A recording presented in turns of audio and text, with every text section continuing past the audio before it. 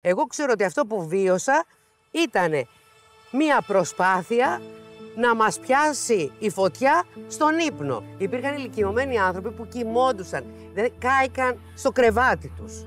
Και κατεβαίνω κάτω και βρίσκω την κόρη μου. Ναι. Ήρθες μαμά μου λέει. Ήρθα της λέω παιδί μου είμαι εντάξει δεν έχω τίποτα. Και όπως κάνω τα χέρια μου έτσι κρεμόντουσαν οι πέτσες μου εδώ. Εδώ. Όλα. Όλα αυτά. Μια απόλυτη ασυνεννοησία μεταξύ των φορέων που έπρεπε να πράξουν και δεν έπραξαν. Δεν, δεν παρενέβη κανείς.